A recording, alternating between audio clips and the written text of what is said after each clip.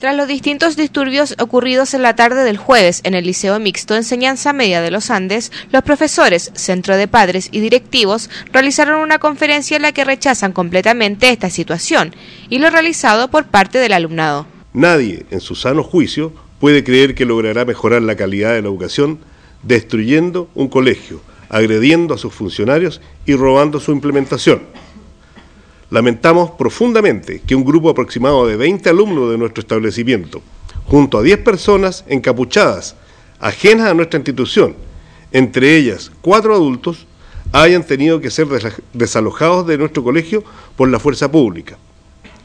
Este desalojo fue hecho por solicitud nuestra, de acuerdo al marco legal vigente. Quiero reiterar nuevamente la molestia del Colegio de Profesores, o sea, perdón, hacia el Colegio de Profesores, que se supone no está representando, que se supone representa a los profesores, porque en ningún momento ellos salen diciendo que representan solamente a una parte de la educación chilena, representan a los profesores.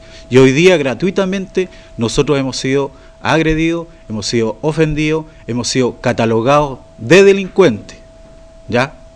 Hemos sido catalogados de violentistas, cosa que la violencia no ha partido de parte nuestra. El Centro General de Padres y Apoderados, rechazando lo que ocurrió con los alumnos en el liceo, dice que solo es para perjudicar al establecimiento y a su rector.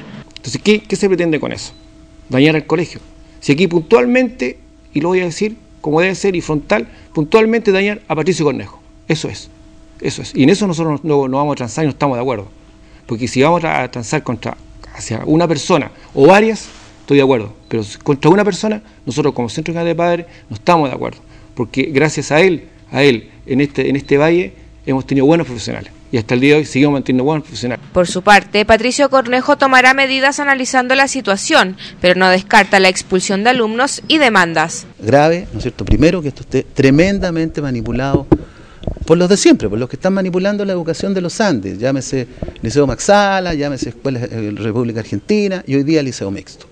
¿Qué pretenden los señores del Partido Comunista? Está bueno que, está bueno que dejemos de hacer manipulación política de los jóvenes. Se espera por parte de profesores y apoderados que esto no vuelva a ocurrir en el establecimiento y llamaron a los jóvenes a volver con normalidad a clases este lunes.